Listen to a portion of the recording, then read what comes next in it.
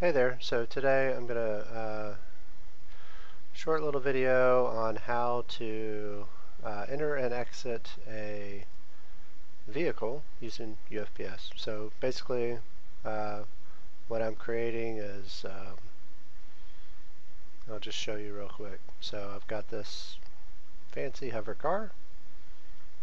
Now I'm driving it. And then um, you'll see in the upper left I've got a GUI that turns on. So if I hit the letter Z I'm no longer in the vehicle. And then I can come over here to this helicopter. So you can see I still got my weapons and everything. Go to the helicopter. And then I can fly the helicopter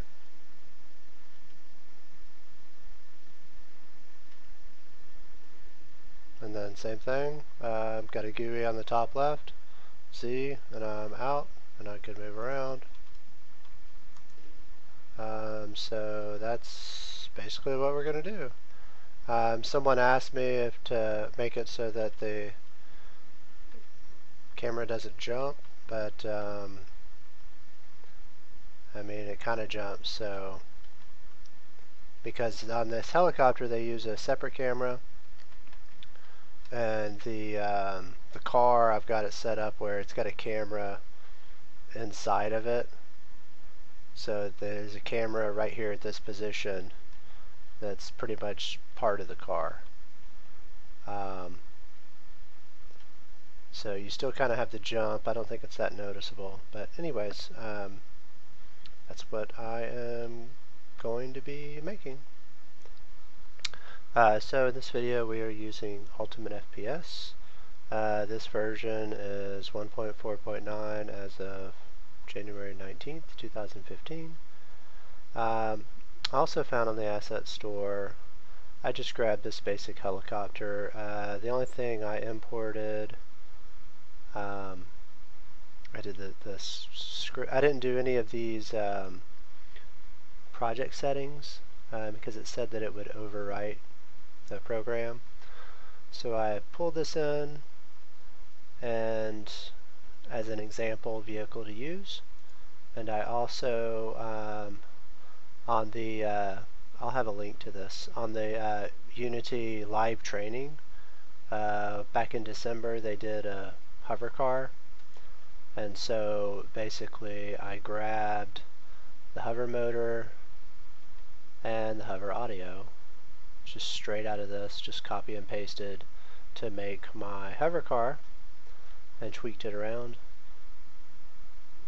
And the helicopter I just pulled in as is. So for my hover car I just created this fancy little ProBuilder car and I'm using the new Vertex painting just because I wanted to try it out.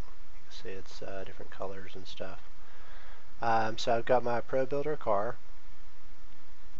um, I added a rigid body, locked it uh, X and Y rotation, added the hover motor script onto it, and these are the settings that I use, so if you want to change your settings, that's what I have. Um, for the audio script, I've got a, uh, so you have to add an audio source. I just add this spacecraft hover sound that I've got, and then I dragged this audio source onto here. Um, I've got a mesh collider ProBuilder. I made it a convex, so it's going to come in concave. So I wanted it concave, convex so it'll collide with stuff properly.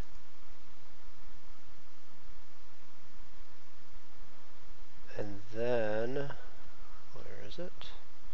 I added a box collider. You'll see the box collider here.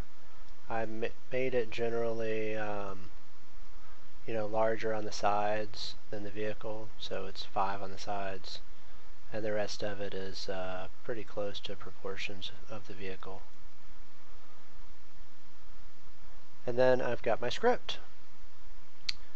Um, you'll see this, uh, I've got a canvas, so I created, oh, where's my hover car? Um, so I just created a basic um, uh, UI canvas and I threw a text on it. I just locked it to the top left and I just put C exit vehicle. It's just a little helper what to do. And then same thing for the helicopter. I did some really basic canvas with text. So I have these two as objects so I can turn them on or off. Um, so that's what this canvas is and then this extra box collider I have it is trigger. Uh, if we look at the helicopter um, it comes with this box collider so this is the one in the middle. I just made it smaller uh, because I wanted to be able to get in this area like I'm walking up to the helicopter to get in or out. Uh, I changed the left and right. This was on like arrow or something like that, the arrow keys, which didn't make any sense. So I'm using the mouse one with A and D. That's the only thing I changed here. I didn't change anything else on this. And then I added another box collider. Uh, this is my trigger and you'll see it's I've got it a ways outside of it. Um, and then I've got a reference um, so this is my script down here. So I've got a reference to the helicopter camera because it's separate. Um, so the target is the helicopter. I could have used this for the cars too but I'm trying to make it easy. Um, and then also on the helicopter I have a I added this, it's called a player exit position. It's just an empty game object. So you'll notice that the empty game object is outside of my uh, trigger zone. So here's my trigger zone and there's exit position. So for me, I just made the exit uh, 5 off to the side. Um, did a similar for the my uh, fancy hover vehicles. So I've got one here, so there's a player exit position. So notice it's back here behind it. Um, same thing over here. And then for these, like I said, the camera is just part of it. Um, so I have two different scripts, um, basically the same script. Um, so for so notice on okay so for the helicopter we have a different camera that I'm attaching. And for the vehicle the camera is actually a child. So you got the parent the child. Here you got the helicopter and the cameras they're separate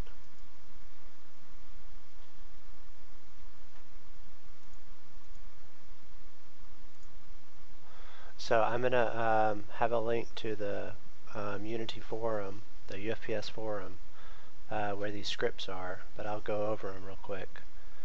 Um, I just called it red underscore interact vehicle, and the other one is red underscore interact free helicopter. Um, so for the hover, um, I'm just declaring that I want to set up what this vehicle is, so I've just got a reference to the transform the vehicle. Uh, I probably don't need that, but I, I wanted to be clean, so. And then since my car, the two scripts that control it are the hover motor and the hover audio. I'm using, here's a reference to hover motor, and I'm just calling it my hover motor. So this is going to be whatever script you use to control it. So if we if I flip over to the helicopter, my motor is actually they only have one script on it and it's called CS helicopter. See CS helicopter. So basically I'm getting a reference to that. Um, for this one I had to also get a reference to the audio source. So I could turn it off.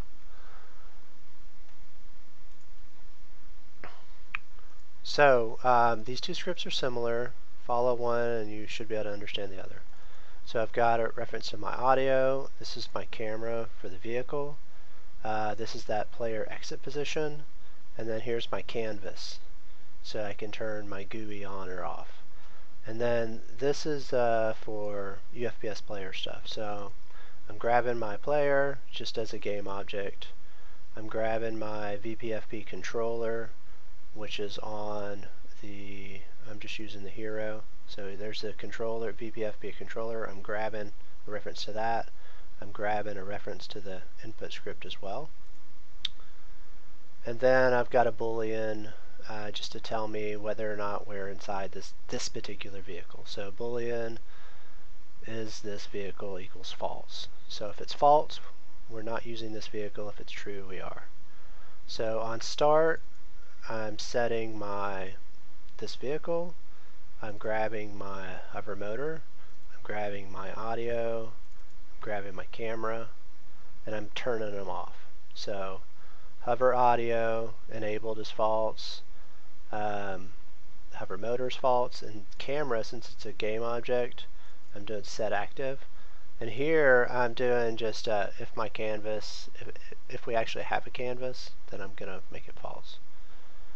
Um, flip over here to this one, it's similar. So I've got my vehicle, my motor, my exit position, my sounds, so I'm grabbing that audio source, and I'm turning everything off. Um, in the fixed update, it's really short. Um, basically, I'm saying if we're in the vehicle, then if we hit the key code of Z, then we exit the vehicle.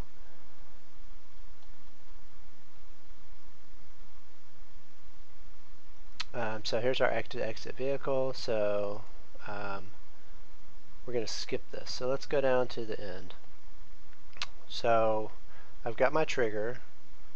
Um, that's the area that we showed. Uh, so for the car, so that's this box around it. So if the object that collides with this trigger is tagged the player and um, if the boolean for this is false then the player can get in it. Um, I was trying to set this up just in case you've got multiplayer, multiple players going on, but this right here is going to mess it up. So um, this getting key code will probably, if one person's in one vehicle and another one's in another one, this probably won't work pro uh, pro properly, so you'll have to fix that. Uh, but for this scenario, everything works. So here I've got my player. Um, I'm just setting up my player, my controller, and then I'm going to go ahead and enter the vehicle. So entering the vehicle, I'm turning off my player, enabling my vehicle stuff, camera, audio, turning on true, and I'm making my canvas true. Uh, when we hit Z, that's what's here, change it to whatever you want. Um, I'm going to do the opposite. So player is true, um, the controller, so I'm grabbing my controller, I'm moving the player's position to the exit position, just the transform of it. Um, I'm enabling the input. If you don't do this, it acts kind of strange sometimes. So turning off my uh, vehicle stuff and turning off my canvas. And on my helicopter, it's just about exactly the same. Um, I just for the camera I had to set it active so the setups are the same I just use my motor instead of the other one so you're gonna have to customize this for your vehicle and this script is so short um, so you should be able to just copy and paste and then change it uh, typically I do references to everything but I didn't this was such a basic script that I figured I would just do it this way Alright, I hope that makes sense. Uh, leave comments if you have any questions. Thanks. Bye.